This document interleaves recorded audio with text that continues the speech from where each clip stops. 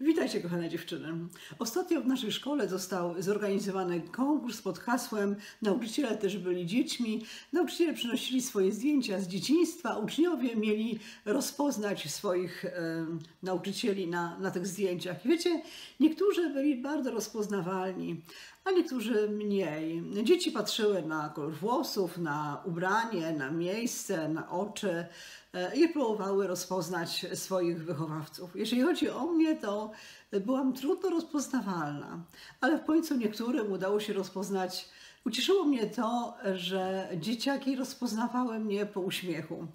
E, okazuje się, że ten uśmiech, który miałam, miałam jako dziewczynka dwu, trzyletnia, e, szczery, radosny, Pozostał mi to dzisiaj. Z tego, się, z tego się bardzo cieszę, ale wiecie, od razu zadałam sobie takie pytanie, czy jestem rozpoznawalna jako chrześcijanka? Czy to e, w jakiś sposób się zachowuję, e, w jaki sposób mówię? E, Daję ludziom do myślenia, czy rzeczywiście rozpoznają we mnie kogoś, kto żyje na co dzień Jezusem Chrystusem, czy, czy raczej nie. Zapraszam Was na naszą sobotnią modlitwę kobiet.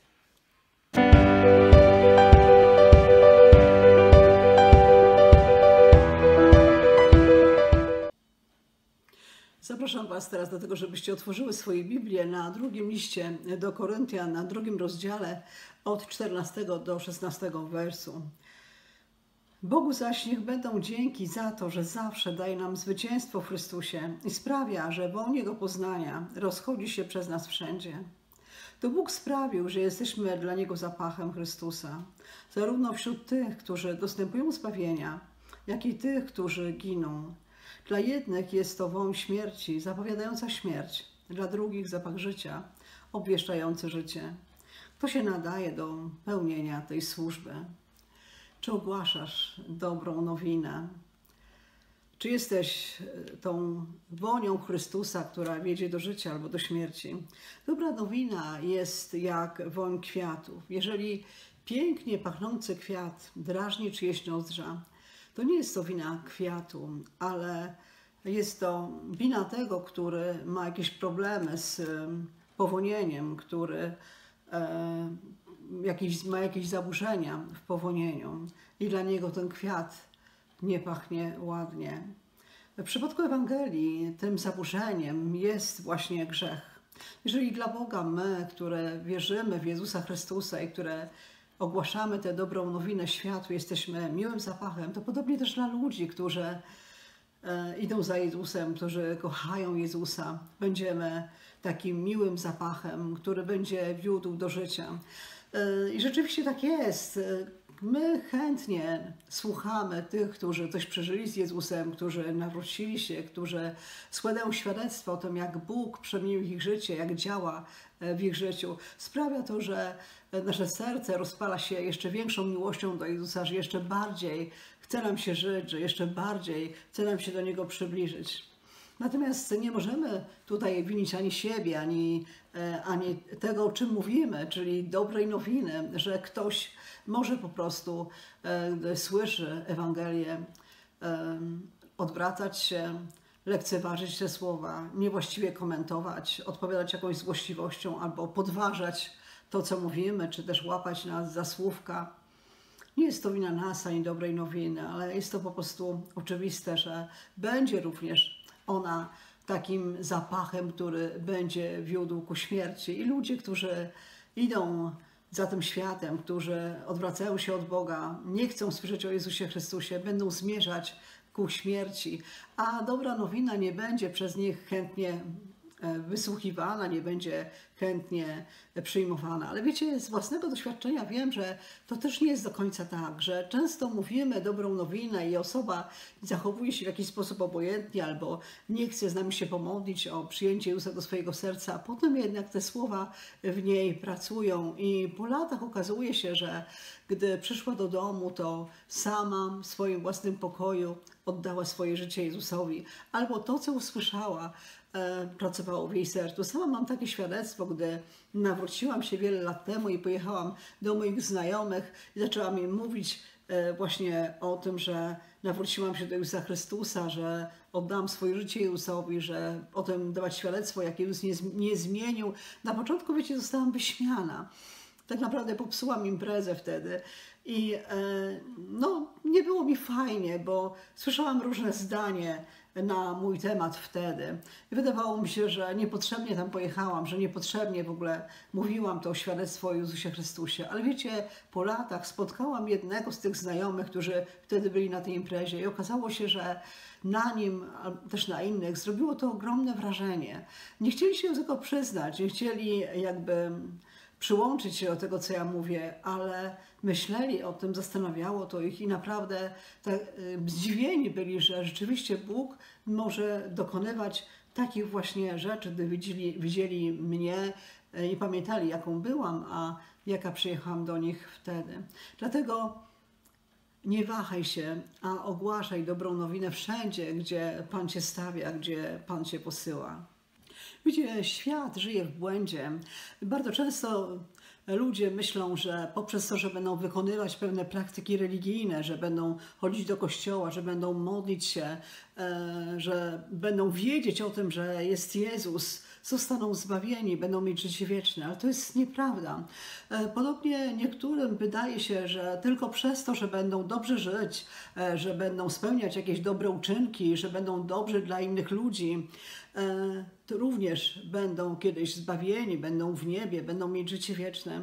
A to tak naprawdę a to po prostu jest nieprawda. Niektórym się wydaje, że gdy będą modlić się do świętych, gdy będą modlić się na różańcu, to również będą zbawieni. A to przecież też jest nieprawda, bo Słowo Boże wyraźnie mówi, że jedyną drogą do zbawienia jest Jezus Chrystus, że tylko przez wiarę w Jezusa Chrystusa otrzymujemy zbawienie. Jezus mówi, że On jest bramą owiec. Jezus mówi, że On jest jedyną drogą, prawdą i życiem i że nikt nie przychodzi do Ojca inaczej, jak tylko przez Niego.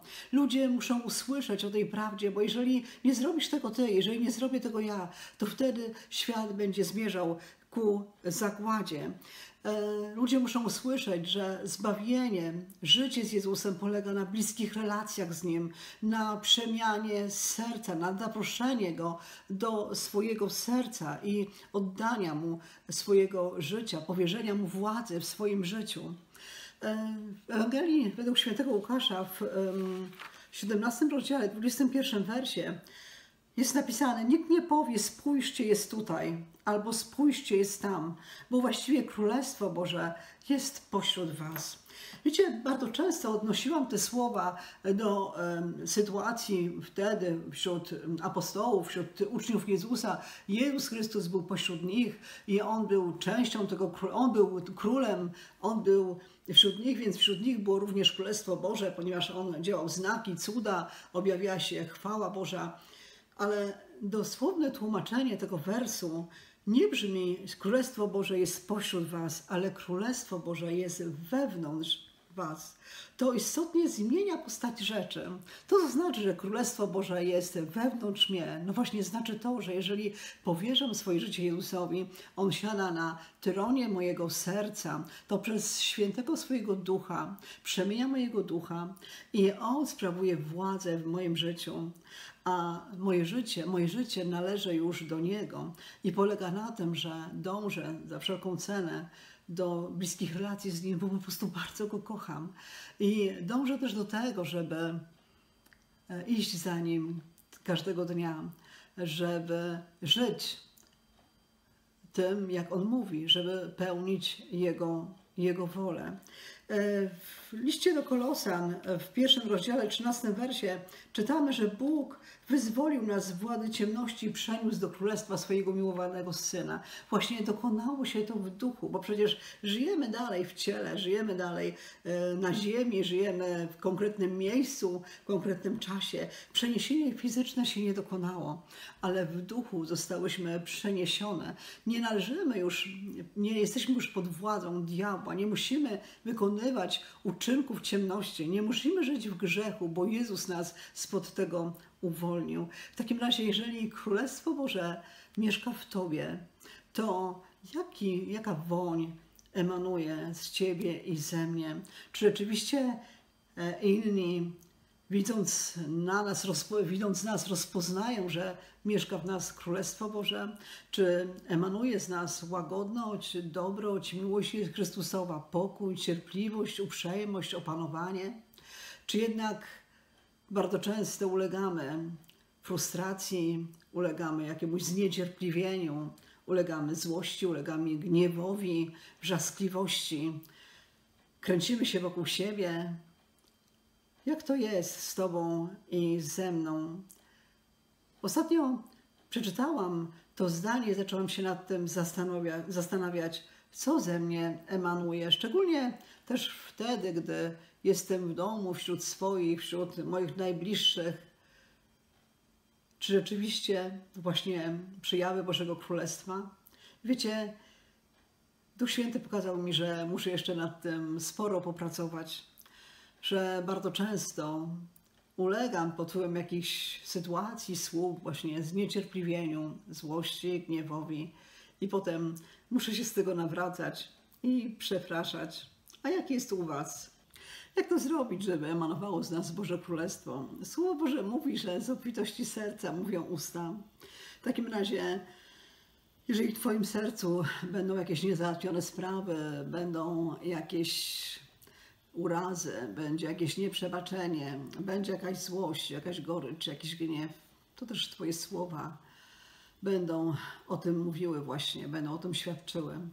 Napełniaj swoje serce Bożym Słowem. Napełniaj swoje serce tym, co Chrystusowe. Słuchaj Bożych pieśni.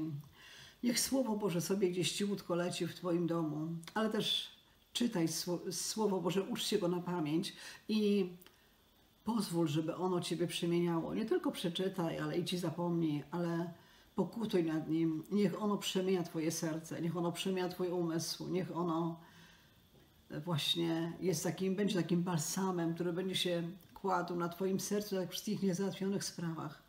A zobaczysz wtedy, że zacznie się coś zmieniać w Twoim życiu, że zacznie się zmieniać Twoja mowa i Twoje zachowanie, bo przecież to nasza mowa świadczy o tym, czy jest w nas Boże Królestwo, czy jesteśmy od tego dalekie, że może jest, ale nie emanuje z nas, ale to, co mówimy, nie świadczy o tym. Zapraszam Was teraz do wspólnej modlitwy. Zaprośmy Ducha Świętego, żeby przemieniał nas. Duchu Święty, ja zapraszam Cię teraz do siebie i do każdej z nas. Przemieniaj moje myśli, przemieniaj moje wnętrze, przemieniaj moje serce. Mieszkasz we mnie, Panie, ale bardzo często ulegam jeszcze je- temu, co grzeszne, ulegam temu, co demoniczne, temu, co cielesne, Panie.